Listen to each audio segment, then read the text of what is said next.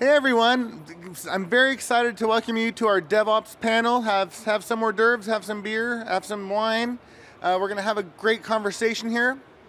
Uh, before we get started, I'm going to do a little bit of shameless promotion.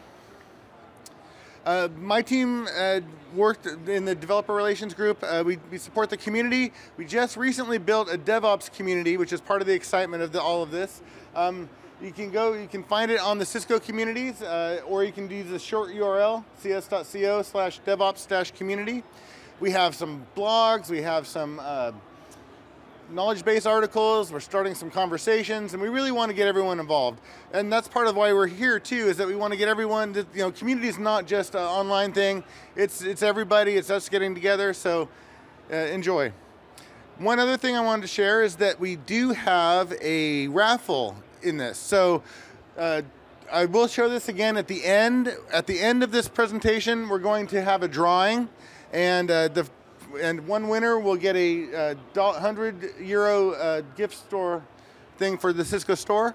Um, again, we'll show this at the end, and what, when you bring it up on your phone, there'll be a, a DevOps question for you to answer, and uh, the I guess the first person, I guess it's a raffle, so I guess they pull they pull one from the correct answers, and they'll one person will get the thing. All right, here is our panel today. I'm Paul Zimmerman. I uh, am the manager of the de uh, developer community engagement team in the developer experience group. Uh, I guess should I introduce you guys, or do you want, or do you want uh, me to introduce you? I'll I'm I'll do it. I'll introduce you guys, and then we'll have questions for you right next to me, we have uh, Mateus Prokop from Natilik. Natilik has been a huge partner for Cisco and for the DevNet team. They were one of our first uh, DevNet specialized partners, and uh, it's really great to have Mateus here on our panel. Uh, next we have Julio Gomez. Julio is a principal sales architect for Cisco, and he's like one of the superstars in Europe for sure. So I'm sure every, everyone here knows who Julio is. And then of course on the end we have uh, Hank Preston. Everyone knows Hank. Hank's super famous as well. So uh, I, oh, yo, you're, you're famous in your own, in your own way.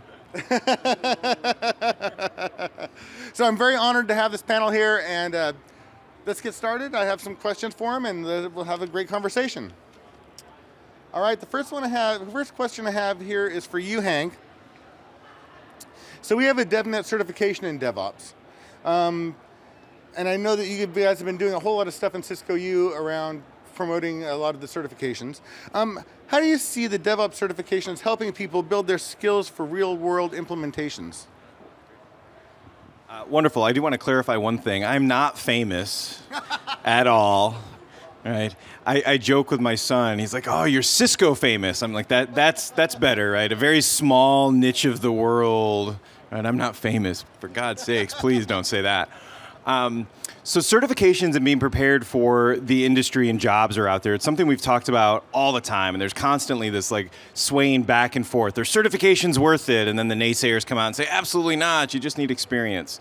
Um, I don't think it's as easy as saying whether certifications are worth it or not. Um, for some people, certifications are fantastic. Certifications did a lot for my career going through. I started with the CCNA certification, uh, then I lost it, and then I had to go earn it again. Uh, anybody else have to do that, or was I the only one that had to go earn the darn thing twice? Um, what I like about certifications, even outside of just, I, I, mean, I like having a certification. It looks great. You get the plaque and all those other pieces that go through. But you have to learn skills to do jobs. And those skills we have to learn are changing constantly, right? They're constantly evolving. And today, particularly today, there's no lack of information uh, that you can use to learn. There's no lack of videos and blogs and courses and labs and people with opinions. And sometimes it's just hard to figure out what to learn. Right? I'm interested in DevOps. What do I need to learn? How do I get started? And that's where I honestly think certifications have a real value is because the certifications, if you can find one that aligns to the type of work, the type of job you want, that gives you a blueprint. It gives you a roadmap on the skills you need to learn. And so now I have a list. This is what I need to learn. And then even better, because people want to earn certifications, people we've gone out and we've built material, courses that will teach you those skills that are there. And so in the DevOps space, if you're trying to get into DevOps, particularly we'll say infrastructure DevOps, because there's different flavors that are out there, um, you can look at the DevOps blueprint, which is part of the DevNet certifications we have in learning and certification. And it has a set of skills, things that we expect somebody in the DevOps space to know. Infrastructure as code concepts, containers concepts, information around CI CD. And then you can use the learning materials, the digital learning pieces we've put together, the links to excuse me, some of those blogs and webinars and videos that kind of dive into those areas as a place to kind of get get some signal out of noise. Because you can really i mean you could spend you could spend an hour of your study time just trying to figure out what to study. But if you've got that blueprint that roadmap it can give you the alignment. Now that said certifications and these courses are not enough to go through it's a start it's a place for a foundation you use that and you build on top of it my favorite part uh, about studying for something new in a certification is you start down a blueprint for something and you're like, oh, that's really interesting. Let me dive a little deeper because the blueprint only asks for this piece. But boy, that was really interesting. Can I learn this? And hey, there's this other question. So it gives me a place to go. But I can come back to the blueprint, assuming that I do want to earn the certification. Uh, certifications still do show up on job descriptions. Maybe not every job description that's out there, but we still do see employers and managers and IT leadership and certainly HR places need a way to set expectations. What do people need for this role that's out there? And certifications are valuable in that fashion. So, how was that? That was excellent. Whew. I was nervous. All right, back to you, Paul. All right. The next, uh, thank, thanks, Hank. Uh, the next question I have is for you, Julio. Um, being a sales architect, from a sales perspective, how do you see the use of DevOps practices driving purchasing decisions? I think that's a great question. Um, and I think there are a couple of angles, at least, that um, make DevOps relevant to any kind of purchasing decisions, but specifically also for our network infrastructure, which is kind of the common background that we have uh, from the networking environment. Um, a couple of topics. One of them is how developers have become kingmakers, right? I mean, it's, it's, it's only it's only this small group of people that get to develop whatever line of business owners want to have to communicate with a global audience. Developers are the ones that execute on that. So developers are really interested in DevOps because that helps them in their life.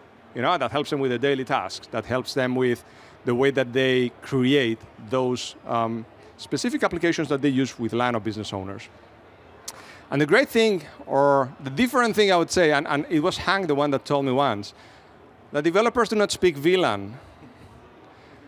And I, I just remember that very vividly, like everyone speaks VLAN. What do you mean you don't speak VLAN? What do you mean you're not spending your days debugging spanning tree protocol loops? I, I, thought the whole world revolved around that, but it, it, look, it, looks like that was not the case. And developers do not care about your OSPF background. They, that, that's not what they live and breathe. They speak a different different slang. Um, so if you want to talk to developers and actually bring something to address their daily challenges, you need to speak their language. And that's what DevOps is. DevOps is um, a different approach into solving the problems that they have ever, that they have had forever. So if you want to learn about DevOps, you're going to be able to tackle and address a new set of opportunities with with kind of different departments, you know, because usually IT departments, the ones that we usually deal with, are optimized for cost, right? If they spend less while providing the service, management is happy. While line of business owners are optimized for revenue. If they generate more revenue, they can spend more. So that means that there are a lot of opportunities that are usually untackled when you just talk to the IT departments.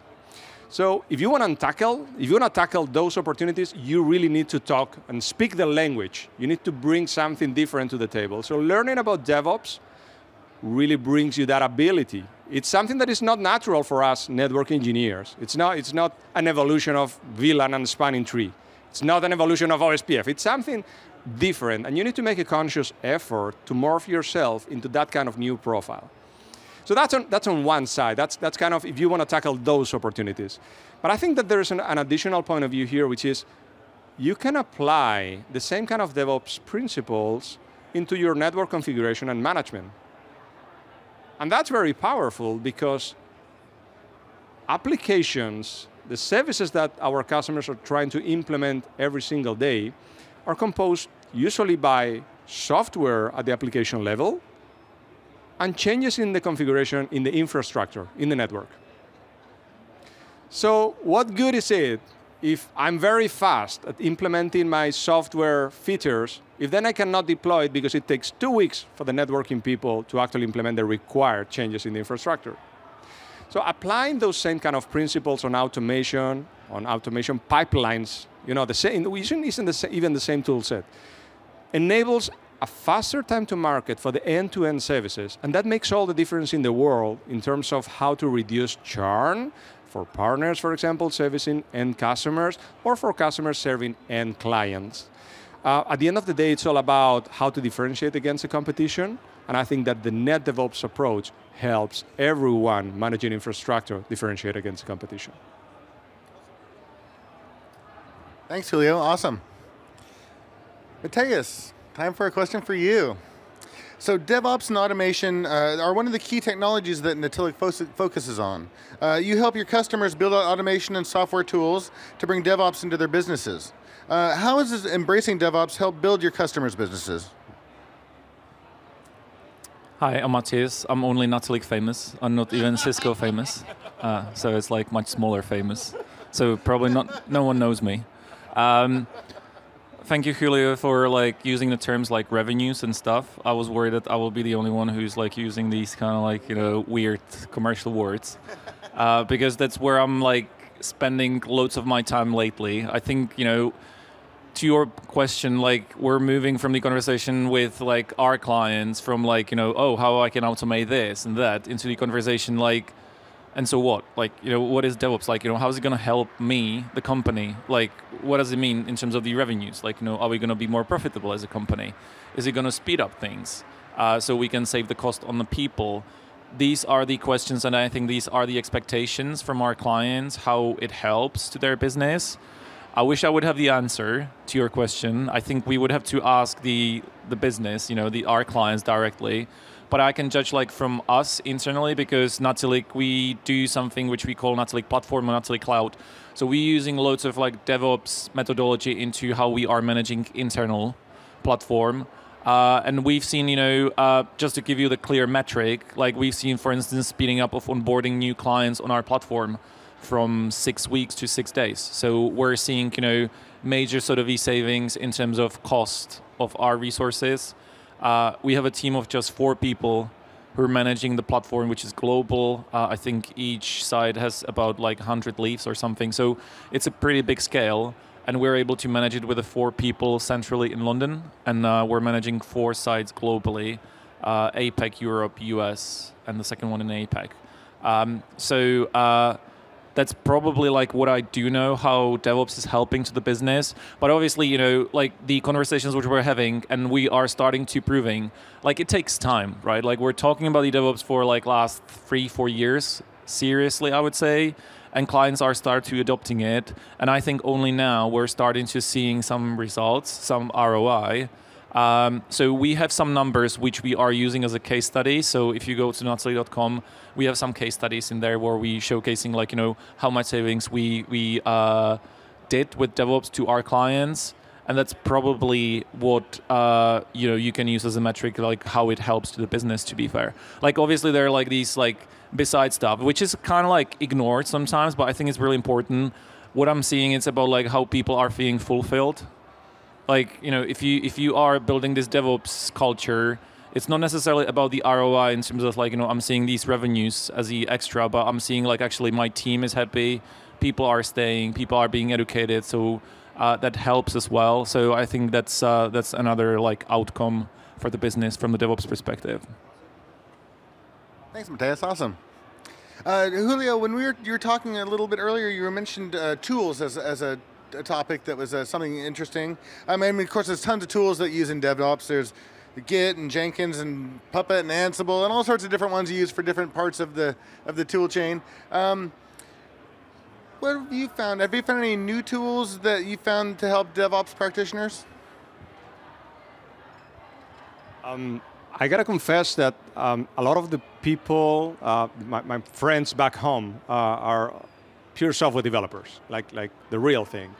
Even with um, companies that are in Y Combinator's round of investment, you know, Series B, like, like proper developers. So, so, I benefit from learning about what they care about and what are the tools that they're using.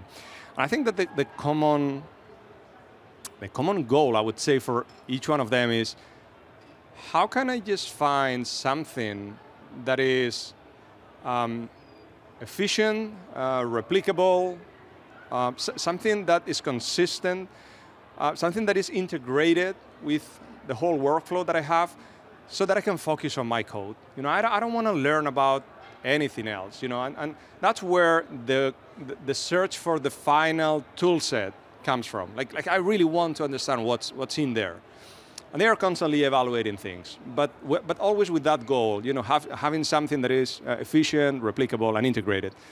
Um, and I remember back in the day, you know, when, when they were developing and they were developing on their own computer, and that was certainly efficient, but not very replicable or integrated with anything. And you, you got the classic message that it works on my computer, so you deal with you know, your side, just make it replicable yourself. And that's where we started evaluating other things like, like Vagrant, you know, where, where you have a virtual machine, where you have the complete system.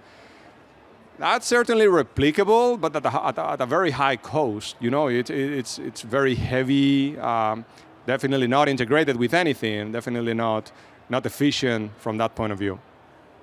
And then we went into you know, the world of Docker and containers where we start slicing the application and creating microservices and, and you know, you start playing out with, with, with the containers. And Docker was great, it was a great advance, I would say, from, from that previous situation with Vagrant virtual machines and so on and the local systems. But still, Docker was not integrated with anything. It was just lightweight. It was more efficient, but, but you were not really going anywhere in terms of uh, replic uh, sorry, uh, replicable, but not efficient, and definitely not something that you can integrate with anything. So Kubernetes get in. I remember being uh, with this guy in Amsterdam or something like that, and they got the news that the Borg, you know, had, had been open source, and now suddenly Kubernetes was the de facto standard. It's like, what? We, we haven't invested in something else. So yeah, our hours were like gone because suddenly it's like this new tool that we need to use.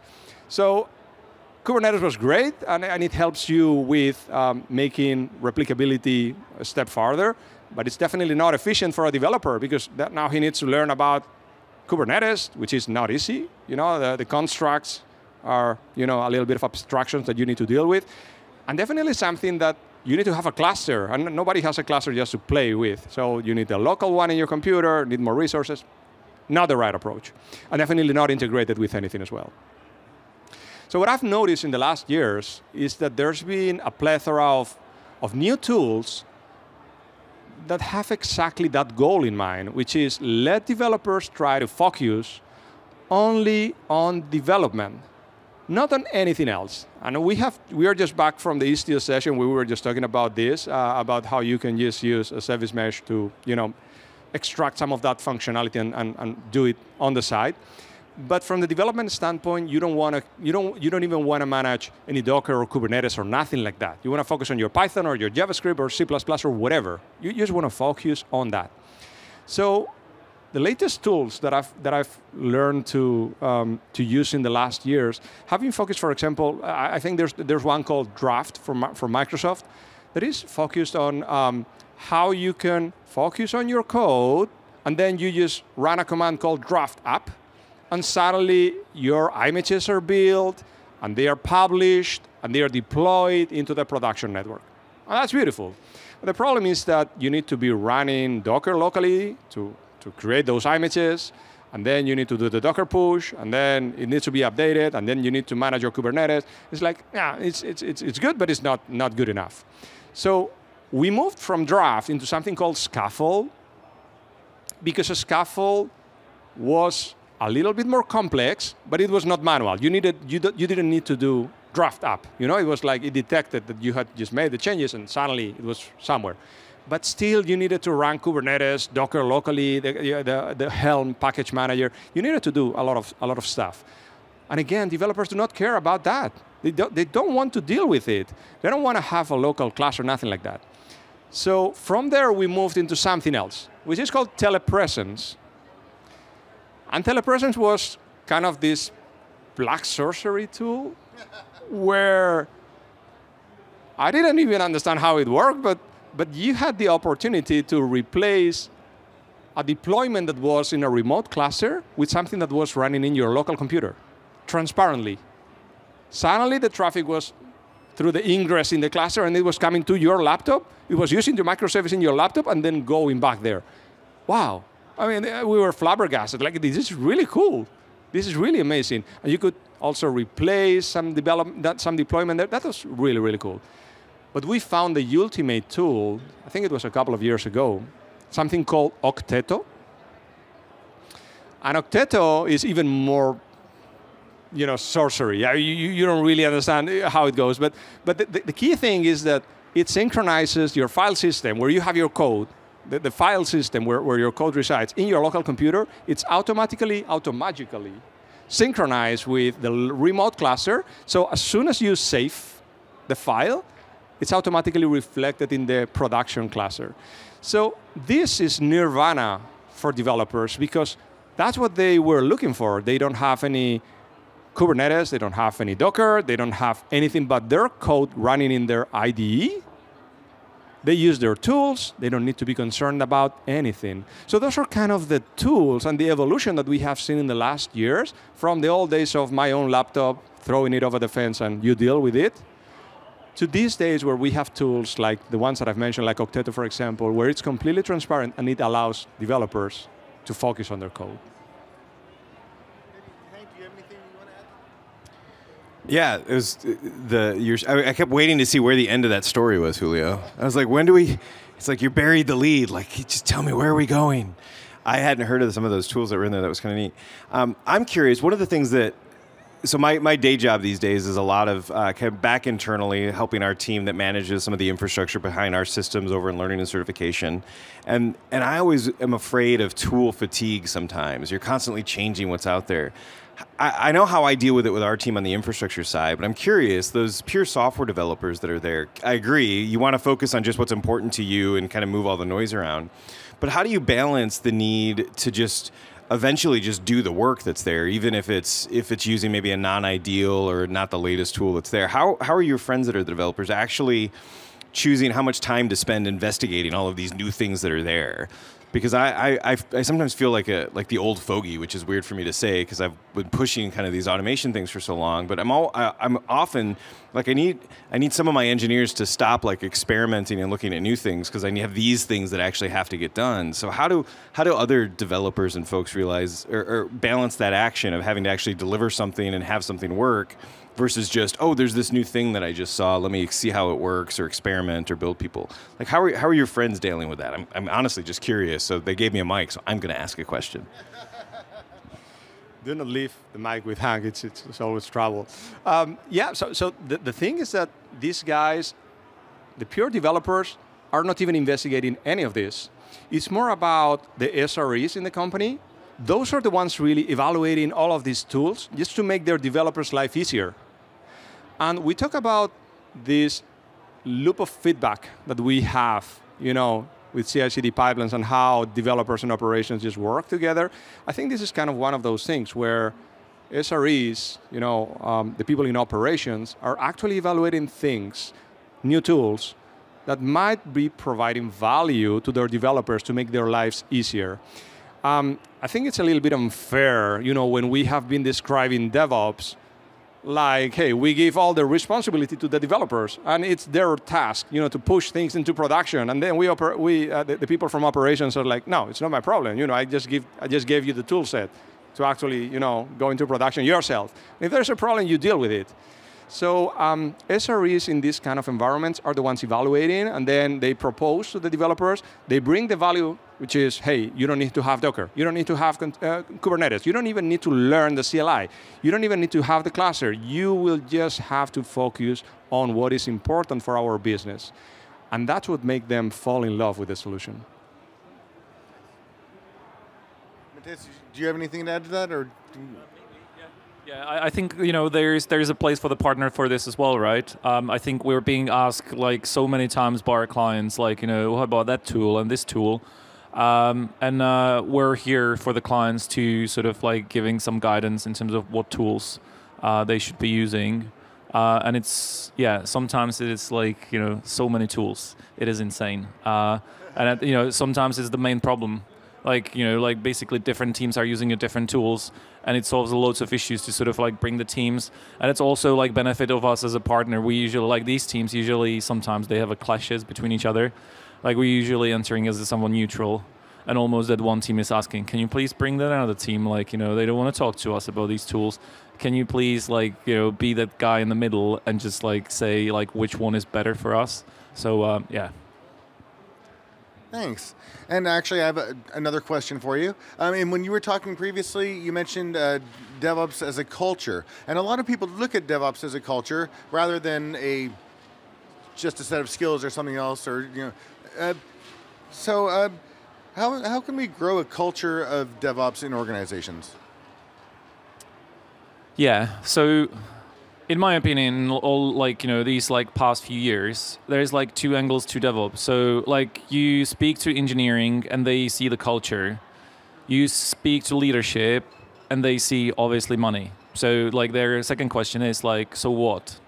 Like you know, DevOps. So what? Like what is what is it gonna bring to us? Like is it gonna you know make us more profitable or like whatever is gonna be the outcome?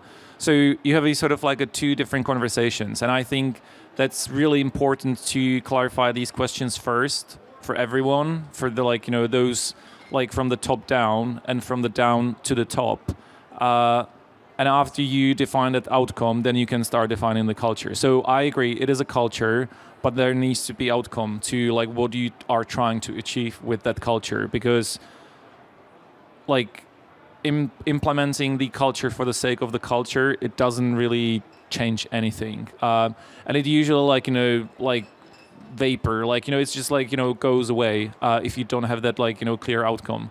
Um, so that's what we are like seeing with uh, of our clients recently. Uh, the adoption, how important it is to sort of reset that culture in the company. So we're helping to have like you know clear waypoints and a path for our clients to sort of like have some certain like you know outcomes and milestones uh, through the years and building that culture inside inside of the company. So uh, yeah, it is a culture, but there needs to be the outcome to that culture. That makes a lot of sense. Thanks. Anyone else want to talk about culture, or we, we, we can move on? Okay. Um, all right, Hank, I have one for you. So, chat ops, AI, AI ops, and no ops are practices that put more and more automation into the ops side of things. Um, with apps like Chat GPT coming out, becoming more mainstream, how, how do you think artificial intelligence is relevant in DevOps uh, to, up to this point, and how do you see AI influencing DevOps in the next five to 10 years and beyond? Futurist question. Bring it on. Crystal ball. That's really hard. Yeah. Oh my God. I um. I don't know.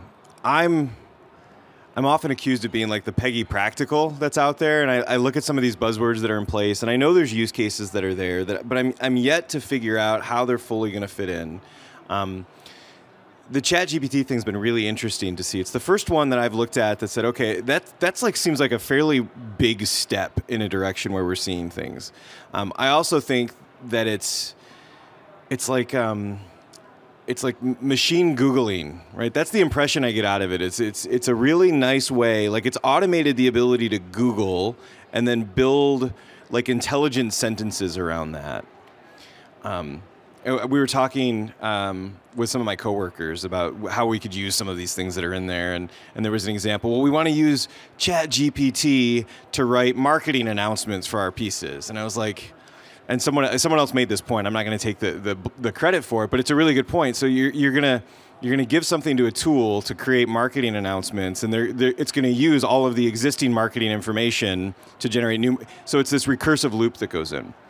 And so when I look at the things like ChatGPT, machine learning, artificial intelligence, um, at least in the stage today, it'll it'll eventually get to that point where those are really learning on their own and becoming creativity.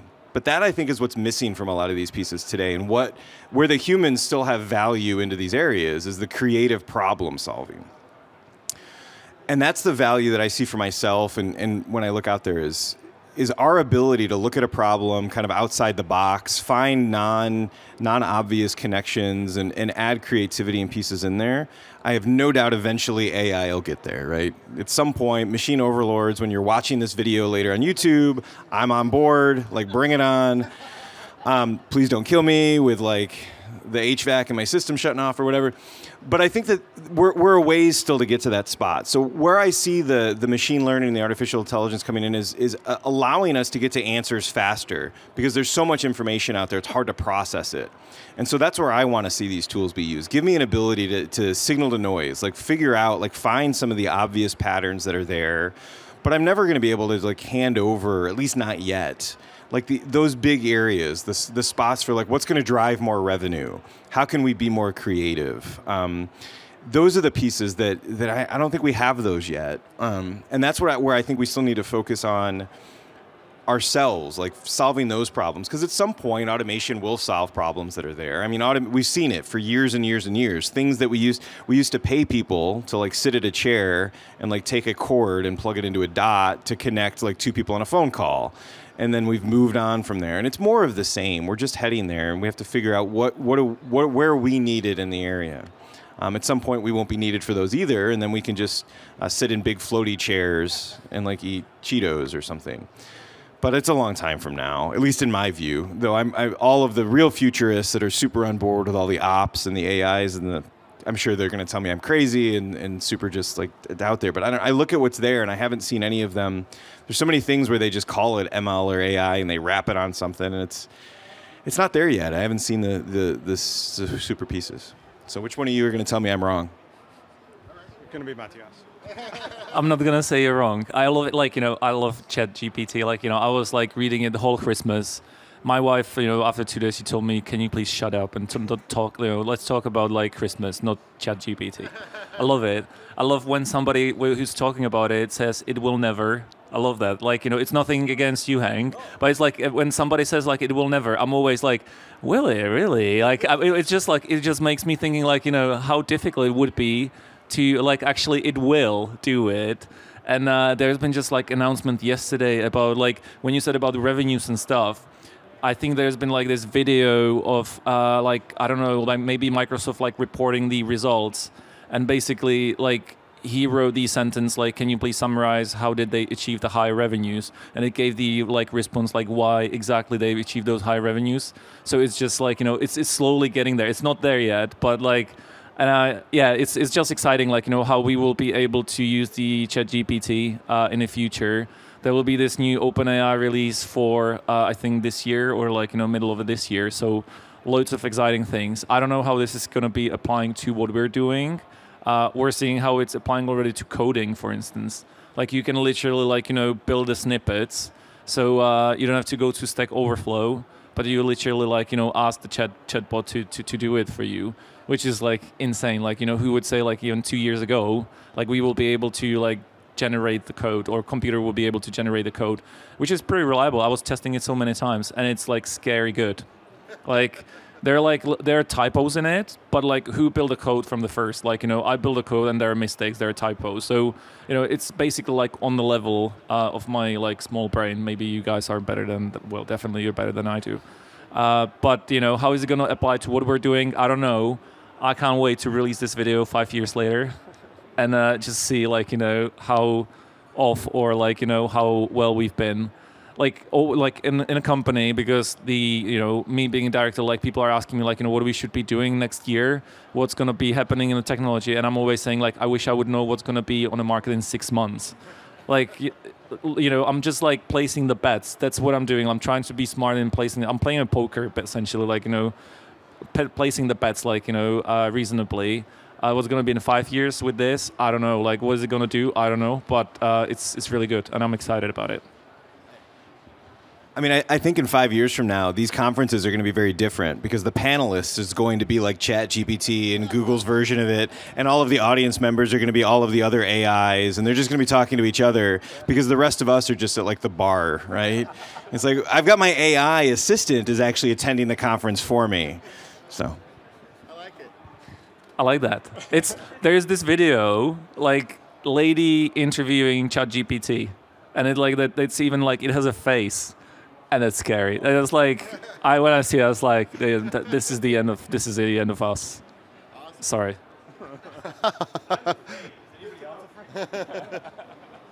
Awesome. I think we have time for one more, but before we do that, I'm just going to bring this uh, this up. Um, we do have a raffle happening at the end of this. If you scan that that uh, QR code, um, maybe we separate a little bit so you guys can so they can scan it. Um, there's going to be a DevOps question when you scan this, and uh, so please answer the question, and a winner will get the uh, the winner will be announced at the end of this session.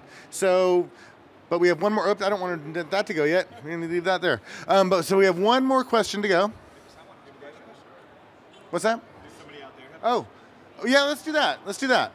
Uh, anyone have a question out here? Yeah, and the beer.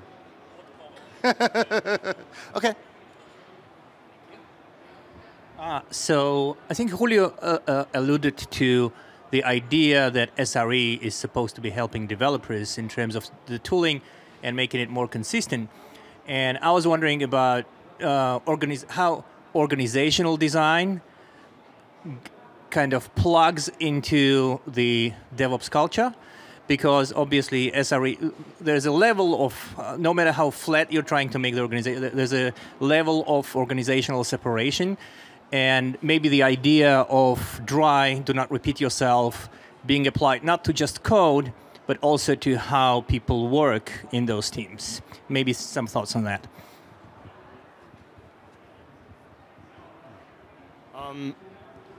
It's funny that you mention it because I think in the last year at least, we have received a number of requests from companies asking, hey, do you have any kind of services that can help us drive that cultural change? Because because any kind of tool set that you present is like it's doable. You know, we can we can start working on it and we can evaluate it and we can even maybe implement it. But the cultural change and the associated organizational change, that's big. That's not easy at all. That's not easy to convince anybody, and especially because Matthias made the perfect point. What is the business outcome? You need to demonstrate that it's really worth it because you start, you know, filling your mouth with the two pizza team. So yeah, two pizza team. What? I mean, why? So the business justification, the business outcomes are really what everyone looks for. And I think that at a certain point, it's all about inspiration. So unless you see someone, your neighbor, being successful, you don't want to jump in and be the first one, right? But, but the moment that you see someone actually delivering on that promise, that's when you realize that, it, that it's, um, that it's um, something worth, worth it. Um, I remember when uh, there were some um, testimonials from Google um, talking about the big cultural change that, that Borg implied, you know, when they were releasing Kubernetes how it changed the work, the, the, the, way that they were working, because basically it was impossible to do it any other way. So I think that eventually companies will get into that phase where it's impossible to scale up anymore. You know, our resources are so, so, so devastated by the amount of workload that we have to do that, that, that it's impossible to manage things at scale. Uh, it will be at that point that they will need to start evaluating that kind of cultural change. Um, as of today, even for the companies that are looking for help with that kind of organizational changes, it's difficult to provide that service because the business outcomes need to be so clear as to get the CEO of the company saying, yeah, let's go for that. Let's change the complete organization. Let's really focus on delivering in a different way. Man, that's big. So yeah, I don't have the answer. I can just talk about what I'm seeing, and it looks like you need to arrive to that phase naturally, organically. Um, and any kind of references, inspiration is beautiful. So I don't have a magic answer for this, but I was trying to think like, how do you actually make the change? And one thing Julio said, kind of gave me a kind of a spark of inspiration, and even tying back to what we're doing internally. Um, I know how to drive from my house like to other places, and I generally go the same way every time because I know it. It's easy. The only time I change the path I have to go is when construction happens and I can't go the same way, right? I have to make a change. And Julio mentioned like there has to be a forcing factor. And we've seen this internally on I've, I've been working for like three years to make drastic cultural changes and technology changes. And we've struggled because despite all of the benefits and the reasons we've gone for, and everybody saying, "Oh yeah, that makes a ton of sense," the inertia, the culture that's there, just continues. And so now we've been talking lately with our, myself and some of our leaders. Okay, we have to we have to take the road away. We have to we have to remove the ability to do it the old way that's comfortable, and it's going to be painful, right? We're going to take wrong turns. We're going to make mistakes. People are going to curse at us but I, that's the next step we have to do because we've gotten to the spot where we've just recognized that we're not getting the change we need through gentle pushing, encouragement. We're going to have to take some drastic moves. Then we, I fully expect people aren't going to like it, but there has to be a forcing factor. Um, next year when I'm back, we'll see how well that worked. But I really think there has to be something that goes in. Um, services are great. Um, but I mean, it's really it's hard to make those changes. There has to be a very compelling. Maybe it's finances, maybe it's revenue. There's a new product that comes in. Those are all forcing factors. Sometimes it's a new boss comes in and really shakes stuff up. Like there has to be something that forces it, and forces it not just in the meeting where you're talking about it, but forces it like the next day and when you're deciding what work you're going to do and what you're not going to do. Um, you have to force them. I mean, it's and it can be it's going to be painful, right? Anything like that's going to be really painful. I'll be quick. Uh, sales head on. Uh, we have those services. Sales sales head down. Um, yeah. Yeah, so uh, exactly these kind of conversations which I was referring to, like you know DevOps. So what? Like you know what is it going to bring? So we, I, I, have a, I have a team of people which we call like client success team, and they are focused on the DevOps, and they can sort of measure like you know they they are proving they're talking to the CTOs and CEOs and proving them like look this is the savings we brought you this year, and this is what I was saying like only now after those like two years working with these clients, we're starting to seeing results. It just takes time. It's not something over the month, but. Uh, what I wanted to say is, yeah, you know, measuring the the ROIs is probably the only metric which you can which you can get out of it. And in terms of like you know what Hank was saying, there needs to be like this sort of kind of like good reason or like you know almost like something needs to happen. I really do believe this is going to be the year 2023, 2024. Um, multiple reasons. So like I'm already starting to hearing clients like for instance go, coming to us and asking for the cost optimization in the cloud cost optimization in the data center. They want to be more sustainable, more efficient in the data centers. Uh, they want to like stop spending that much in a cloud and be more efficient. So that's one reason. The second reason, the market, the labor market, is uh, I think we were going through like five, six years where just people haven't, companies hasn't been like pushed to be more efficient. They were just hiring, you know, and throwing more bodies into into the stuff. Now, uh, you know, with all the layoffs and stuff, actually companies are starting to being forced to be more efficient and doing more with less.